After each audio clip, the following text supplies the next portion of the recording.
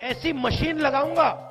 हिंदुस्तान के एक एक गरीब आदमी को देश की राजनीति के दो सबसे बड़े चेहरे इनके दो ऐसे बयान जो एक व्हाट्सएप से दूसरे व्हाट्सएप तक फॉरवर्ड होकर फुदकते रहे और झूठ के पैरों से रफ्तार पकड़ते रहे। झूठ जो इतना चला इतनी बार बोला गया इतनी तरह से इतनी स्क्रीनों पर दोहराया गया कि करोड़ों लोगों के लिए वो खरा सच बन गया।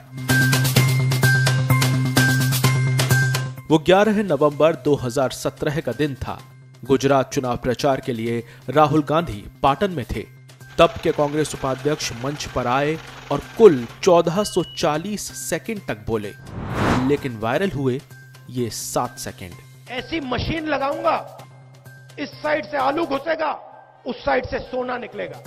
अब देखिए पूरा बयान। आलू के किसानों को कहा ऐसी मशीन लगाऊँगा इस साइड से आलू घुसेगा, उस साइड से सोना निकलेगा। इस साइड से आलू डालो, उस साइड से सोना निकालो। इतना पैसा बनेगा, आपको पता नहीं होगा क्या करना है पैसे का। मेरे शब्द नहीं है, नरेंद्र मोदी जी के शब्द हैं। यानी कुछ शब्दों पर कैंची चली और बयान की कतरन देश भर में फैल गई। इतनी कि पूरे सच से वाकिफ रहने वालों ने भी राहुल को छोड़ा नहीं। हरी मिर्च होती है कि लाल मिर्च होती है, इसका भी जिनको ज्ञान नहीं है, जो आलू में से सोना पैदा करने के लिए सोचते हैं, वे आज दिन रात किसान किसान किसान बोलना शुरू किया है। 2019 में लोकसभा चुनाव से पहले आपको राहुल गांधी के इस पुराने बयान को लेकर तमाम भाषण सुनने को मिलेंगे। भरपूर मज़ाक भी उड़ाया जाएगा। लेकिन अब आप पूरा सच जानते हैं। मुफ़्त में पंद्रह बीस लाख रुपए भी मिल जाएगा। एक सेकंड जरा ब्रेक लगाते हैं। इसको खींचकर थोड़ा पीछे ले जाते हैं। हिंदुस्तान के एक एक गरीब आदमी को मुफ़्त में पंद्रह बीस लाख रुपए भी मिल जाएगा। हम्म, थोड़ा और रिमाइंड अरे एक बार।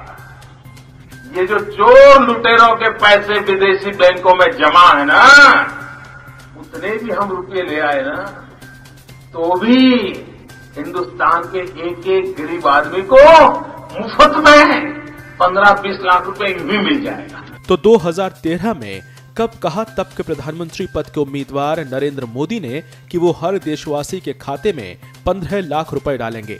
सच पूछा जाए तो अमित शाह ने ठीक ही तो कहा है कि ये एक जुमला है। जुमला यानी बात कहने का अंदाज, एक ढंग, जिसमें कोई वादा नहीं होता। फिर वादा खिलाफी का आरोप कैसा? कांग्रेस और विपक्षी पार्टियाँ तो छोड़िए, खुद के सहयोगियों तक के लिए सुलह सफ़ाई, गले की हड्डी बन गया। तभी तो ऐसे बयान अब तक जारी हैं। आता एकदम पंधरा लाख होणार नाहीत पण हळूहळू होतील ते म्हणजे आता एवढे पैसे सरकारकडे नाही आहे रिझर्व्ह बँकेला पैसे मागितलेले ते देत- नाही आहे त्यामुळं ठीक आहे, तर पैसे आले तर म्हणजे आश्वासन दिलं होतं, पण याच्यामध्ये अजूनही काही टेक्निकल अडचणी आहेत. 2019 के रण में इन दोनों बयानों की आड़ में अभी और कोहराम मचेगा। अमर उजाला अपनी खास सीरीज़ पाँच साल पचास बयान में। लोकसभा चुनाव तक आपके लिए वो तमाम बयान लेकर आएगा, जो इस दौरान लगातार चर्चा में रहे, या जिनकी फिर से सिर उठाने की आशंका है।